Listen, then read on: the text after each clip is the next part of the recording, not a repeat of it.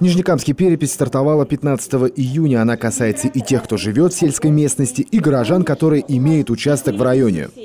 В этом году у нас вторая всероссийская сельскохозяйственная перепись. Первая сельскохозяйственная перепись была в 2006 году.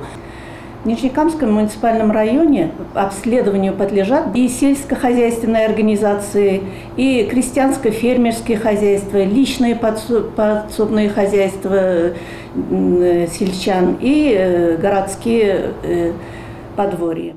В селе Барок Риму Ибрагимову знают практически все местные жители. Она уже 15 лет здесь работает фельдшером, и раз в десятилетие ей приходится совмещать свою деятельность с другой профессией.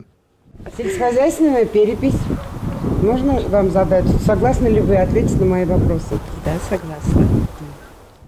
Вопросы у переписчиков несложные. Спрашивают они о размерах общей площади земельного участка, о том, что сажают у себя на территории сельчане, количество плодовых деревьев, кустов и других многолетних насаждений по видам культур. А так, это есть неиспользуемая земля? Нет. Все, да, под этот, под все. сад все Сад, огород, все используется. Так. А из живности что у вас есть? Из живности кошка. Кроме кошки. Курицы. Курицы. Курицы. Так, куры сколько? 15 штук.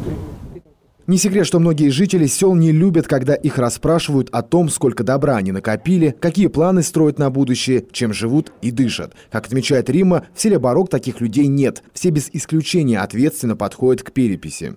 Ну, я так понимаю, что это учет.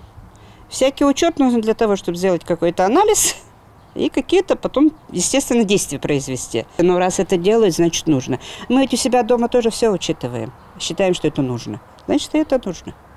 Все данные переписчик вводит в планшет. Кстати, это устройство в 2016 году начали использовать впервые. Далее вся информация отправляется к инструктору участка. Он после тщательной проверки передает всю сводку в отдел государственной статистики города. По словам переписчика, к сожалению, уже сегодня видно, что живности в деревнях становится меньше.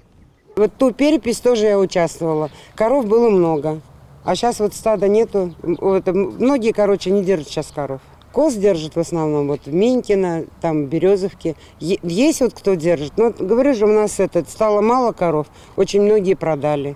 Итоги сельскохозяйственной переписи – это залог проведения эффективной аграрной политики. Однозначно, по результатам переклички будут определяться приоритеты. Готовятся и осуществляться конкретные проекты в этой сфере, в том числе и программы, непосредственно касающиеся нашей республики.